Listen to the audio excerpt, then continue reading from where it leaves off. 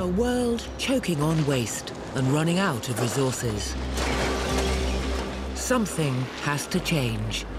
How can we design an economy where we don't waste all these resources?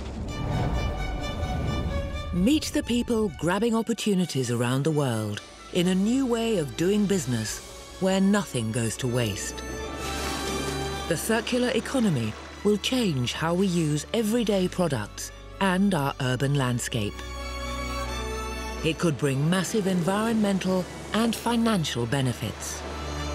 This is just the beginning of really being able to solve a global problem.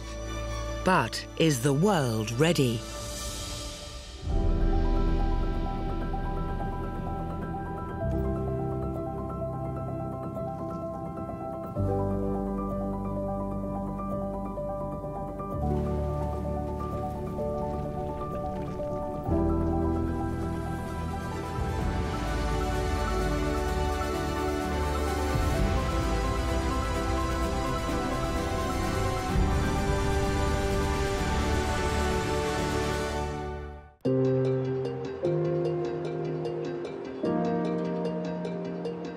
At one of the world's largest landfills near Jakarta.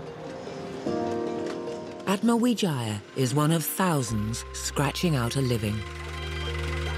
Saya sudah sudah jadi pemulung di Bantar Gebang kurang lebih 30 tahun. Saya mencari ya barang bekas, ya aqua gelas, ya aqua, aqua bodoh lah gitu istilahnya. Apa kardus, karung robek, apa aja lah yang laku tidak bisa dijual. Gitu.